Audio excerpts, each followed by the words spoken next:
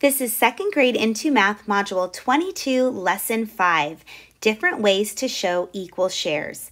I can draw to show the same wholes as equal shares in two different ways. Please gather your workbook and a pencil and turn to page 562.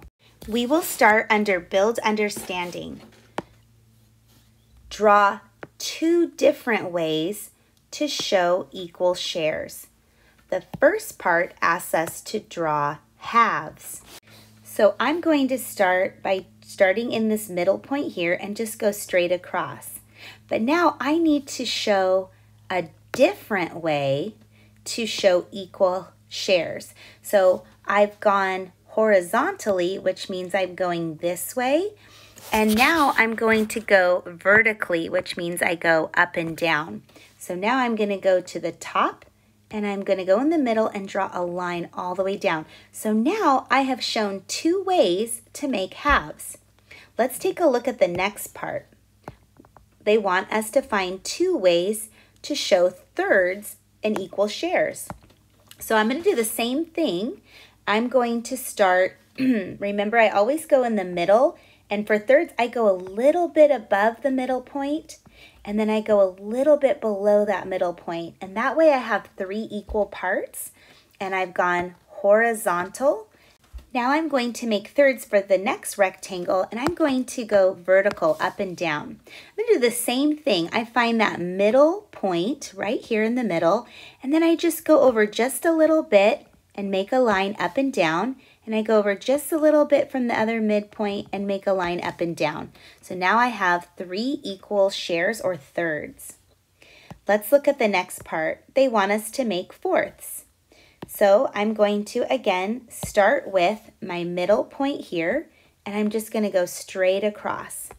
And then at the top, I'm going to go about halfway and make a line. And on the bottom section, I make a halfway mark here and go all the way across. So now I have made fourths going horizontal. I need to try a, a different way to show the same equal shares on the other rectangle. So I'm going to go up and down vertical. So I'm going to go right to the middle and make my line here. And then I go to the next section and I make a middle point in the middle of the uh, the square that I created and I'm making a straight line. And then same over here, I go to the middle point and I make a line down. So now I have created a different way to make fourths. Let's take a look at the next page, page 563 under Step It Out. You will need a couple pieces of paper that are the same size if you're going to try this activity, or you can always follow along with me. It's your choice. Part one asks us to work with a partner. Use two pieces of paper that are the same size. Fold each paper two different ways. Draw to show both ways. Okay, so if you would like to pause and try this with the paper, um, you may do that and come back, or you can just follow along with me. Okay, so at the top of my paper, I'm going to go ahead and start at this middle point and I'm just going to fold that paper from side to side. So if I fold it at the top from side to side, um, I will create a crease right in the middle here. And that's one way that I can fold the paper into halves. Another way is to take the middle of the paper and make the fold directly across in the middle. So those are two different ways for us to fold the paper. Okay, let's look at part B.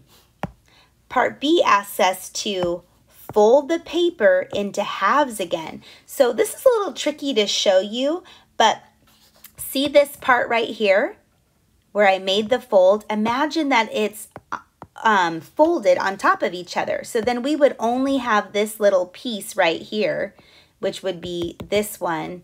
And then same with this piece. If I folded it on top of this one, I would only have this shape right here. So once we've done the fold, they're asking us to fold the paper into halves again. So what I'm gonna do is the same thing I did up here. I'm just gonna go right to the middle and I'm gonna fold it from one side to the other, straight up and down.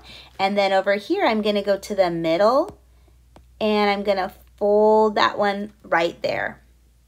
Okay, so now if I were to open the paper back up again, now I would see some different folds. So what they're asking you to do next is what you would see in the paper. It asks you to draw to show fourths in two different ways.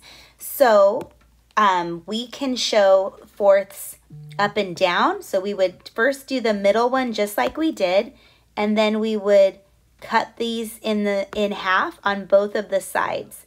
And we would have four equal parts. That's one way to have fourths. And then if we go do what we were doing before, we would go in the middle first, and then we'll find the middle part in that top square and the middle part in the bottom square. And now we would have fourths another way with the same paper. Great work. It's time to check our understanding. You can read this problem and push pause and try this on your own if you'd like, or follow along with me. Jake wants to cut a tile into halves. Draw two different ways he can cut the tile in half. Again, you can pause now or you can follow along with me. So one way that he could cut the tile in half would be right to the middle, just like this. And another fun way for him to cut the tile would be from one end all the way over to the other end. That would be a different way that he could cut the tile in half. Great job today. As always, you can go back and rewatch this video and pause anytime as needed. Outstanding job.